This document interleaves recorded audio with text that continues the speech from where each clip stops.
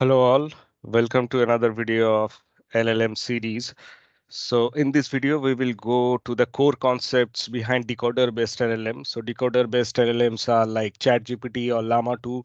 So the decoder-based LLM's basic task is to uh, generate the next token based on the previous token that has been already there in the sequence, right? And uh, how the decoder-based LLMs generate this next token is based on random sampling technique using this three core concepts or either of these three core concepts like temperature, top P and top K. So I will switch back between uh, the co the concepts to code and each of the things I will first explain what is the core concept behind that and we will try to see what is the code using a plain NumPy implementation, right? So let's get started with temperature. So with temperature equals to zero, right? So for an example, say that we have a sentence, a sequence of tokens, which is like Palm2 is a model of family, right? And based on that, your uh, decoder based LLM will predict the next token, right? So the next tokens which are available for sampling are like this, right? I, boy, hello, uh, LLM, NLP, and ngram and each of this has an associated logit with this. So logit is nothing but, uh, so in case of uh, logistic regression, right? So logit is nothing but the when we do the linear operations like W transpose plus W transpose X plus B, then we get the output as logit. Then we pass the logit to an activation function and we get the further outputs uh, after that, right? So here the logits are like this. So logits can have any values like starting from one to three and higher the logits value, uh, higher the probability is, right? So logits are generally unnormalized in nature. So they can be of any value starting from minus infinity to plus infinity. And uh, what we use is we use softmax in case of multi-class classification. So in case you don't know softmax, I uh, discussed it in one of my uh, videos for deep learning with PyTorch series. I will uh, give the link of this video in the description of this video. So uh, first, what we need to do is we will calculate the probability using softmax right? So once we calculate the probability based on softmax, so these are the outputs will look like after uh, like normalizing the probability using softmax, right? So uh, the LLM with highest logit will have highest probability value and I with logit value of one will have the lowest probability value. And the sum of this probability value will be equals to one. So here the values may not match because I have eliminated few of the decimal points.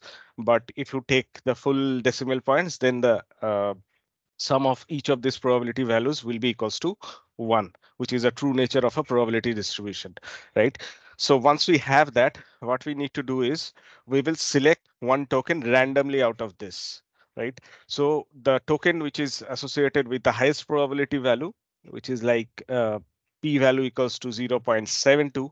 So that will have the highest probability. So whenever you will do sampling randomly out of this, all the tokens, it's uh, more or less you will get the LLM as a next token prediction, right? So this temperature zero is nothing but uh, softmax, uh, simply applying softmax on the available tokens and then doing a random sampling on the uh, based on the probability of this each of these tokens, right? Now with this concept, let's see how the temperature with higher value looks like. So if I select a temperature of 0.9, uh, then uh, the next tokens will be uh, similar values with the same logit values which I have shown in the last slide. So after that, you will again calculate the probability using softmax, but this time your softmax will be with a temperature based uh, temperature based probability value right so uh, this is how the values of probability looks like after using a softmax with temperature based probability. So here the values of the probability values change slightly and uh, th these are the output which looks like after using the softmax with temperature based probability. So we, uh, we will try to see this what this uh, softmax with temperature based probability is in terms of code uh, and that time your concept will be much more clear.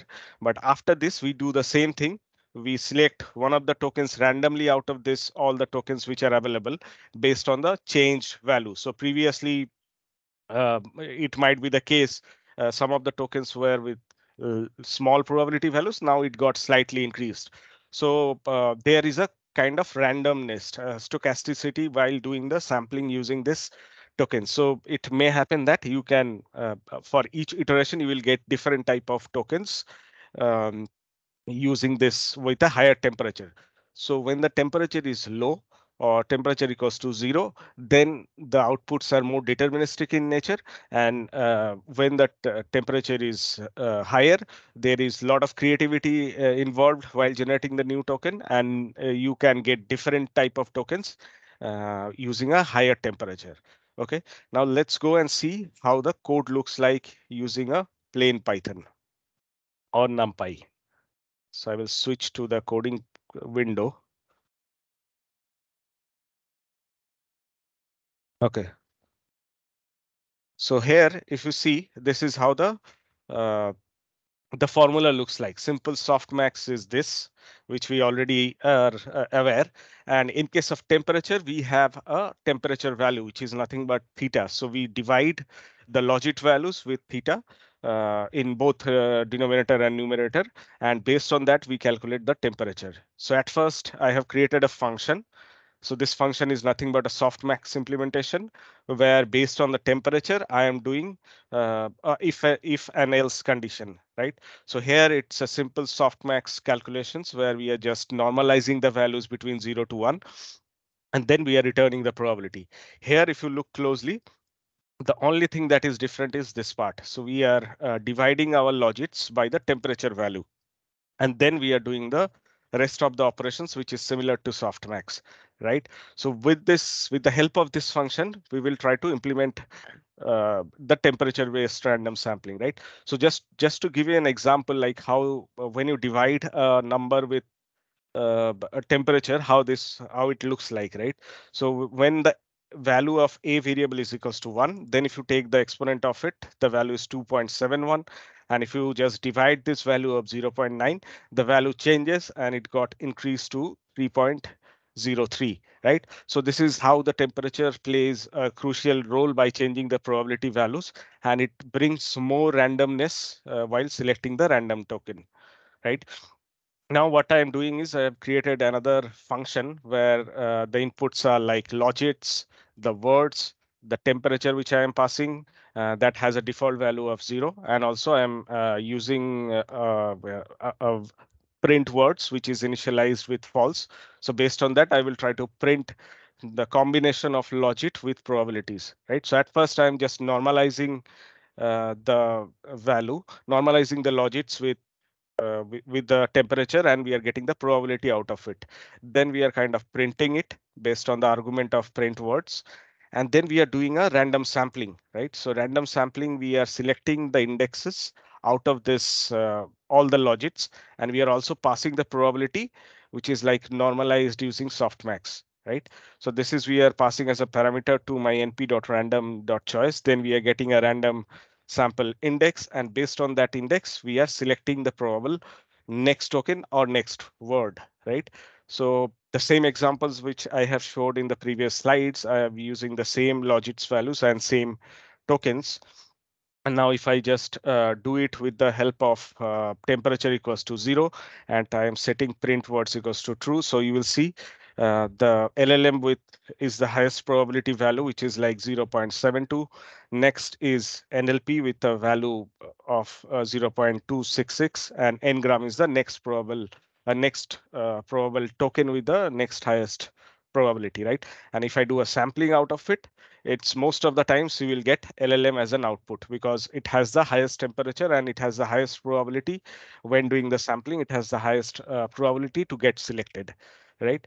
So now next, I will try to see if I increase my temperature to the highest value of one, and then we will try to uh, do the sampling, right? So I'm uh, doing a loop through in a range of 1 to 10, and uh, this is how the output looks like. So you will see like there is uh, some amount of uh, randomness which is involved here, like uh, NLP is getting selected, your ngram is also selected, your boy is also got selected, and also the LLM, which has the highest probability, that also got selected as a next token prediction.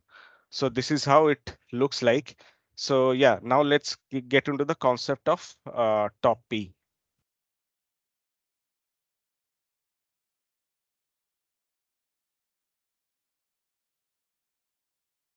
Okay, so uh, with top P, what we are doing is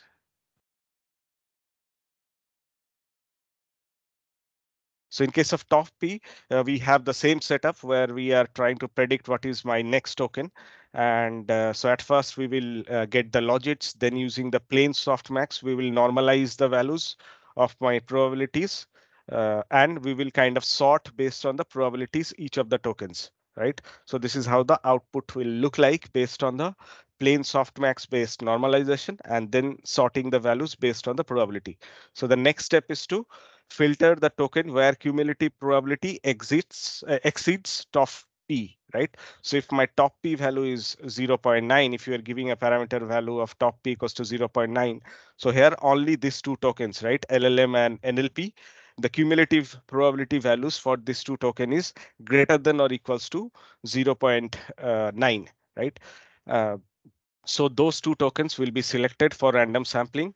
Then we need to recalculate the probability using softmax on the filtered token. So using the logit value of 9 and 8, we will again do a normalization of my probabilities and we will get a uh, different set of probabilities based on this, which is like uh, for LLM, the now the changed probability is 0.61 and for NLP, the change probability is 0.27 right? Now we will do the uh, random sampling on only these two token and it will kind of always uh, introduce a randomness while selecting uh, while selecting the next token or next word right? So it can be some of the cases your llm will be uh, selected as a next token and some of the cases your nlp would be selected as a next token.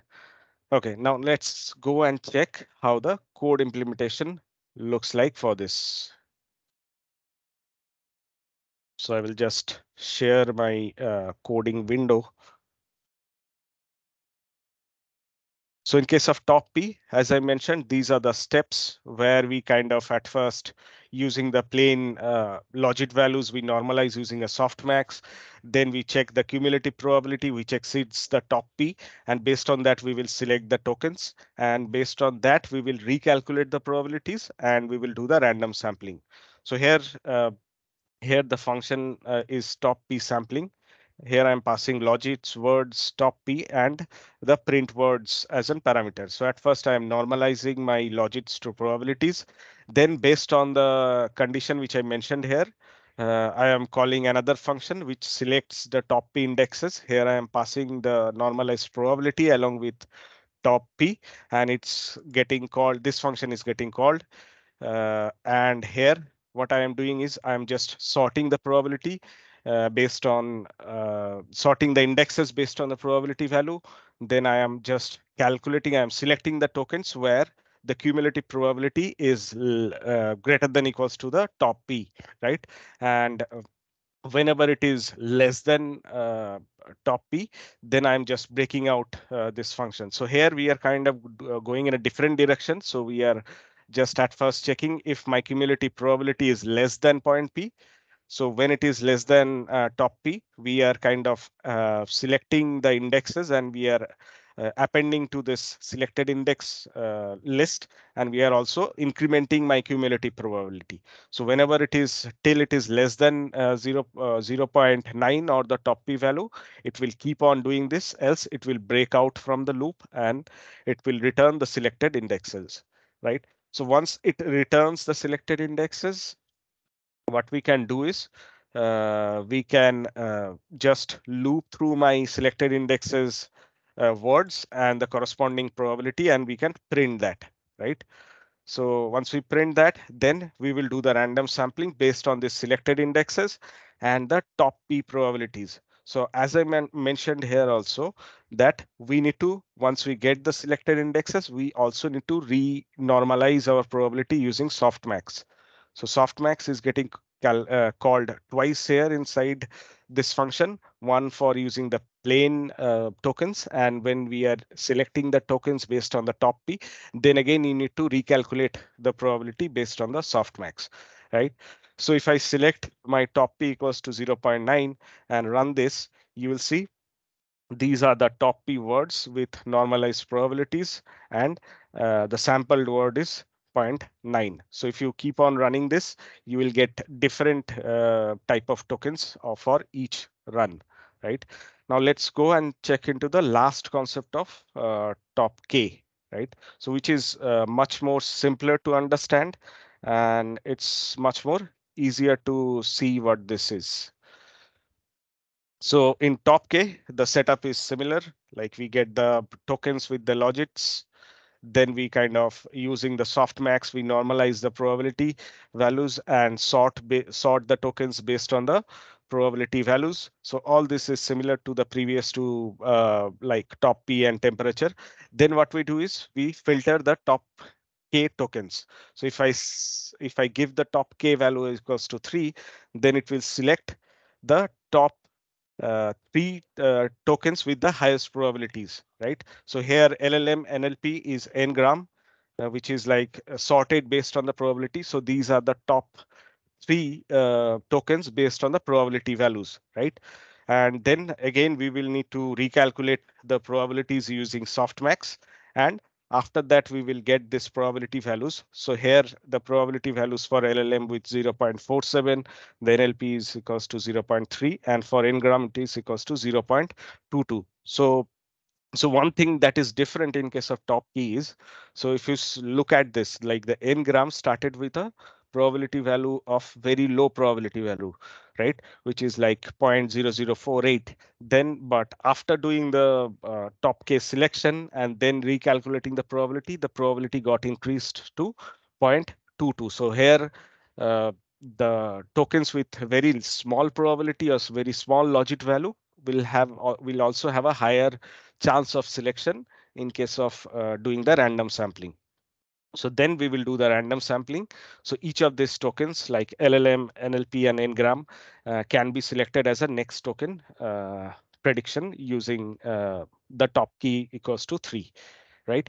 I hope you understand this concept. Now let's go and check how the code implementation looks. So the top K is, much more simpler and it's most easiest to do. So here we have only one function. At first, we are just normalizing the probability values using softmax. Then we select the indexes, right? We, we select the indexes based on the probability values. Um, and uh, and we sort those values and based on the top K, we select the top three or top K indexes uh, out of this uh, equation, right? Out of this condition which I have given here.